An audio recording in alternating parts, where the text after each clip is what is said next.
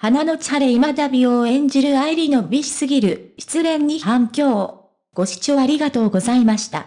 素早く最新情報をもらえるようにチャンネル登録ボタンをよろしくお願いいたします。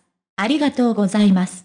民衆の敵で高橋一生とのセクシーシーンも話題になった今旅、お花晴れでは顔の良さを存分に発揮。ジャニオタ歴30年ライター、ナンシー関ヶ原です。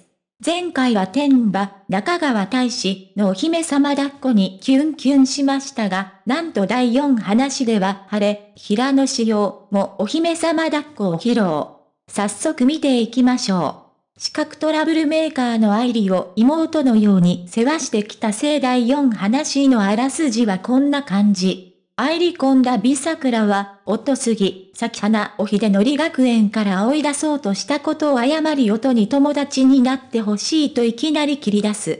何か裏があるのではと怪しみながらも愛理のペースに巻き込まれていく音。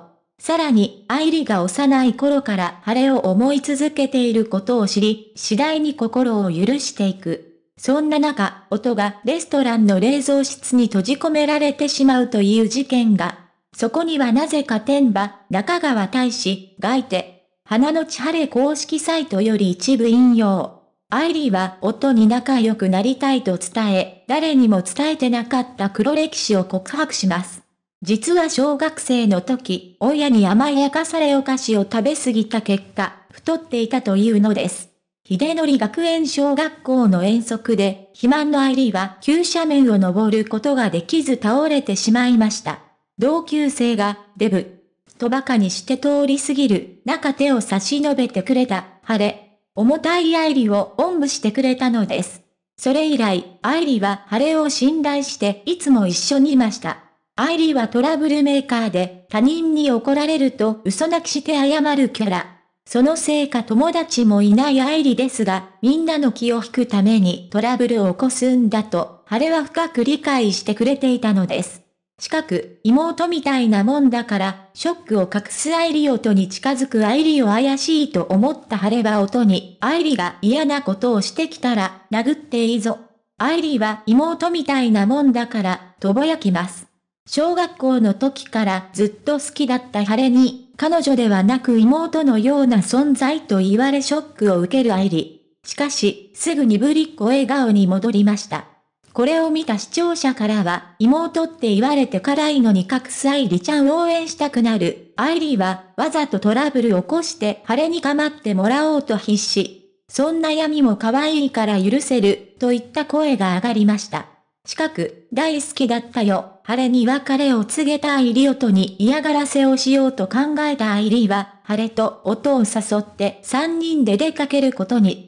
レストランでわざと音の服に水をかけ、従業員トイレで洗おうと誘い出します。そして大きな冷蔵室に音を無理やり閉じ込めた愛理。そのことを知った晴れは愛理に、お前はクソだな。二度と俺の前に顔を見せるな、と告げました。深く落ち込んだ愛理は姿を消します。愛理が行方不明になった直後は、晴れは腹を立てて探そうともしませんでした。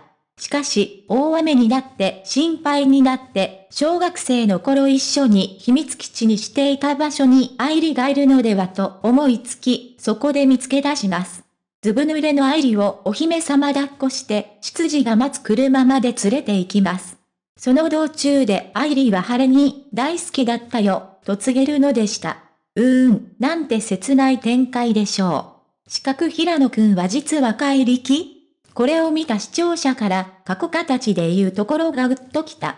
自分の片思いを終わらせるってことか、恋愛は成就しなかったことを認めて愛理が成長した。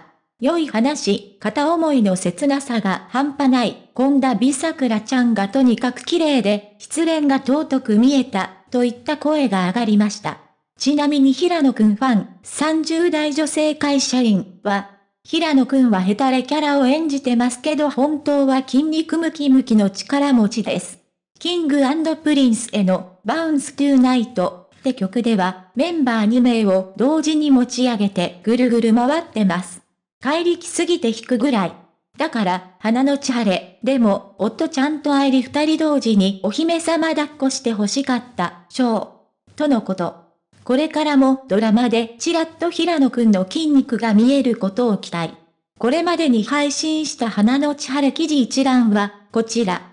文、調べへドラマ阪南市関ヶ原、イラスト、三河五郎。平野志陽さんプロフィール1997年1月29日生まれ、愛知県出身。圧倒的なセンスのダンススキルや歌声を持つ一方、チャーミングな発言とのギャップで多くのファンを魅了する。ご視聴ありがとうございました。これからも一緒に応援していきましょうね。チャンネル登録をよろしくお願いいたします。